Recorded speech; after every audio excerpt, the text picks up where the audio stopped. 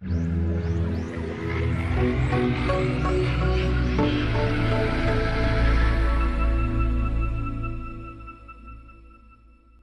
Ubisoft, voilà longtemps que je me préoccupe de ta situation actuelle, et que je voulais t'adresser ces quelques mots.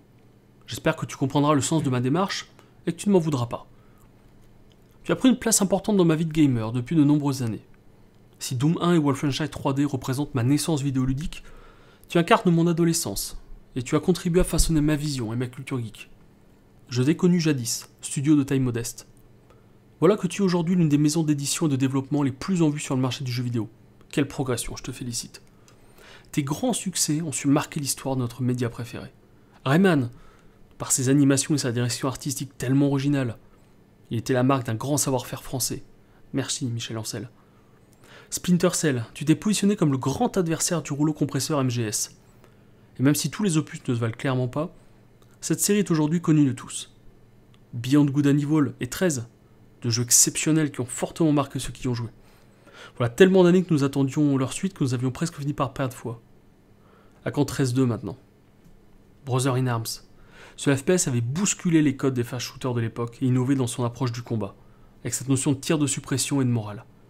Merci aussi de m'avoir permis de combattre dans ma Normandie natale.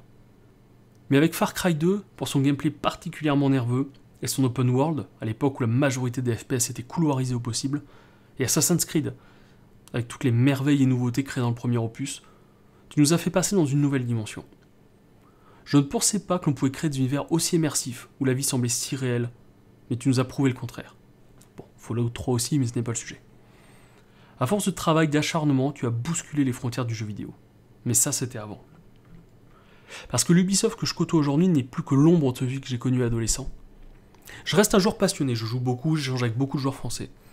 Mais Ubi, la confiance est rompue. Les derniers survivants ont craqué lorsqu'ils ont vu que leur copie d'Assassin's Creed Unity était injouable au bout de 6 mois. Et même après avoir été patché.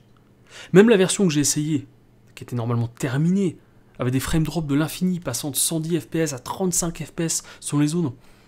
Comment tu veux nous garantir des vraies expériences avec ça? Aujourd'hui, nous n'achetons plus tes jeux les yeux fermés, comme cela pouvait être le cas. Nous avons oublié tes downgrades, définitions approximatives, ta quête effrénée de rentabilité. Ubi, tu as les meilleures équipes de graphistes sur le marché. Tes jeux sont en mettre plein les mirettes. Far Cry 3 et 4 étaient des merveilles de visuel. Les mondes d'Assassin's Creed sont vivants, palpables. Il faudrait vraiment que tu envoies tes priorités. Où sont tes bêta-testeurs? Où sont tes équipes en charge du développement des correctifs? Où sont tes game designers? Mais surtout, où sont tes putains de scénaristes? Arrête de confier le lead de tes projets au marketing à la com. Reviens aux fondamentaux. Tu sais, j'ai suivi la sortie de Far Cry 5. Je ne reviens pas que tes équipes techniques se congratulent de leur capacité à ne plus proposer la quête de 25 tours radio. Il leur aura fallu autant de jeux pour comprendre que ça n'avait aucun intérêt. Mais pire encore, capitaliser dessus en termes de com, c'était une erreur.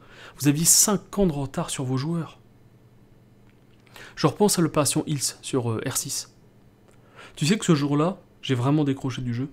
Tes équipes étaient tellement éloignées de nos attentes, tellement déconnectées de la réalité, tellement excitées à l'idée de rendre le jeu jouable deux ans après sa sortie. Tu sais, c'est déjà tellement triste en soi. Mais garde ce genre d'échec en interne et arrête d'écouter tes chargés de com de 25 ans qui ne connaissent des FPS que les stades de vente de Call of Duty. Ressaisis-toi, Ubi. Nous t'avons suivi pendant si longtemps, tu ne peux pas nous laisser tomber maintenant. On peut encore redresser la barre. On t'aime.